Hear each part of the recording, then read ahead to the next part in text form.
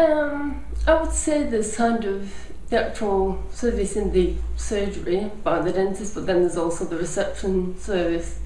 I'm a bit of a mixed bag, really. The receptionist, I've had a really good experience with. Very clear. I've explained on my lip reader that's been fine. Um, and also there was open to my recommendations about a text service or email.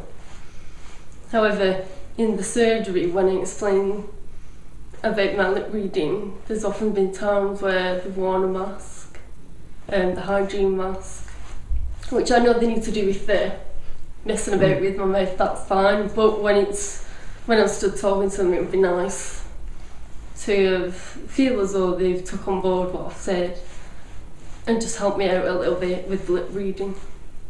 And it doesn't make you feel very nice because you feel as though you're having to highlight a problem, which it's not a problem. It's just I'm a little bit different to the next person, that's all. Um, so yeah.